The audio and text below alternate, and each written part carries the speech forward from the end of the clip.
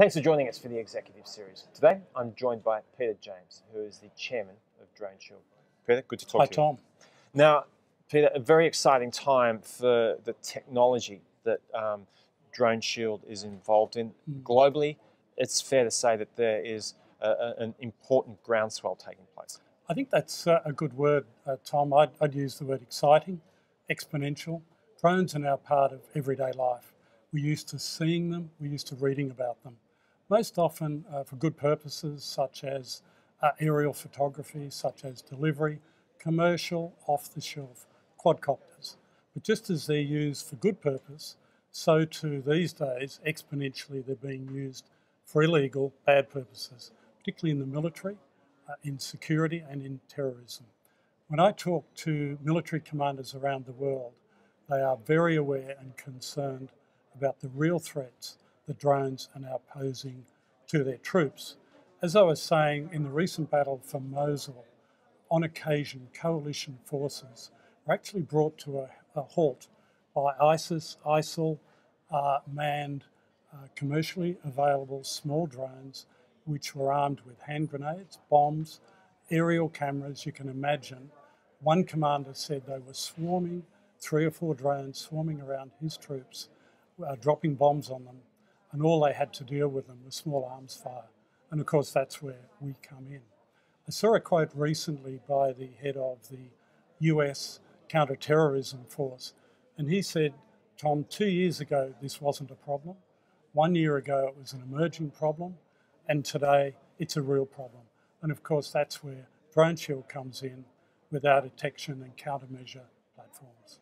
So the implication, Peter, from what you've just said, or one of them at least, because Mm. there are so many facets Yes, um, yes, within yes. that, is that uh, security and defence forces around the world are, are almost on the back foot a, a little bit when it comes to this uh, technology, because you know uh, people with modest resources are able to um, create a real problem for them. Is that a fair thing Uh, to look, say? I think I think that is a challenge, and, and the military forces, security forces, are rapidly coming up to speed because these days, the bad guys, the terrorists, can literally walk down the shop and get a handful of these devices and deploy them to serious negative effect.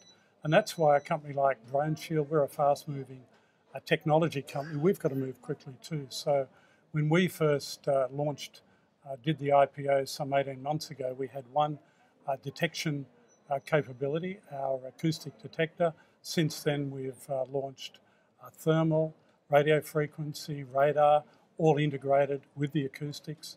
We launched our um, drone gun that we've talked about before, and we've now got a second uh, generation version of that integrated with the other technology. So, just as um, the technology itself is moving, just as military is having to adapt, so too a company like DroneShield listens to the market, and we're moving as well. Indeed. One thing that um, is very clear, though, is that the relationships between the military uh, and military contractors is uh, a very broad one, a very complicated one. mm. But uh, significantly, you're making traction on that front. You've got good conversations taking place, and you've also um, retained the resources of an important organisation in the US lately. That's correct. There's a couple of themes there. What I, I get most excited by, Tom, I sit in on the weekly sales call, as I said, with our various uh, sales and marketing teams, and the opportunities and the sales that we're working on on a weekly, uh, daily basis are global and, and they're quite profound. At the moment, we announce this to the market, we're dealing, looking at a pipeline of $100 million, over $100 million of deals, and these are large deals across 90 contracts with the likes of, for example, the French military and other major NATO countries. Listening to a call the other day and uh, looking at uh, the opportunities in South America, we've just uh, announced a good sale to the Paraguayan uh, government.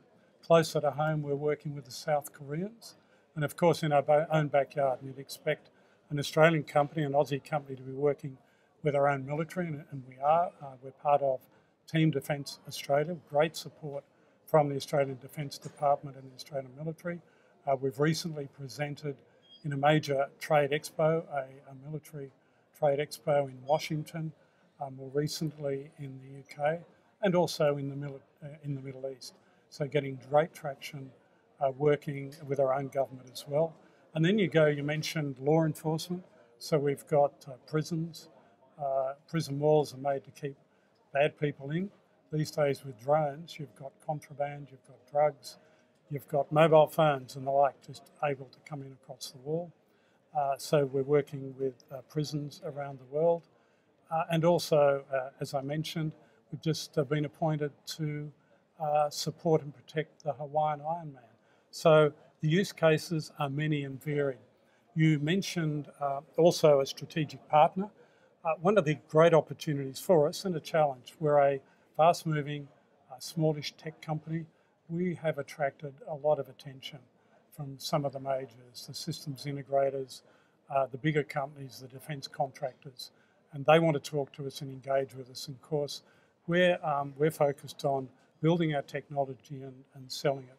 So we've recently appointed Mesirow, Mesirow Financial, the large US uh, conglomerate, but with a specialist arm in defence, military, law enforcement, to give us some advice as to how we might engage with these many opportunities. Indeed, and you've just had a successful capital raising as well, Peter. So, what's going to be the um, the aim in terms of deploying that capital? I'm a big big believer in the F word, Tom. Focus. So we've raised uh, 2.32 million dollars uh, in October, and we've got uh, three mantras that uh, we're looking at. Firstly, the continued build of the technology, and that's not um, to get the technology working. It's already deployed, but this will be the next generation of technology. We've got an existing uh, distributorship, uh, 50 to 60 uh, distributors around the world in 50 countries. So we need more resources to build those out and manage them. And then, of course, if we've got $100 million worth of opportunities, we need the resources to engage with the militaries to close those, to get the deals coming through. I think that uh, DroneShield is very much at the tipping Peter, it's always good to talk to you. Exciting times ahead. It we is. look forward to hearing more about them. Thank you, Tom. All the best. And thanks for joining us for the executive series.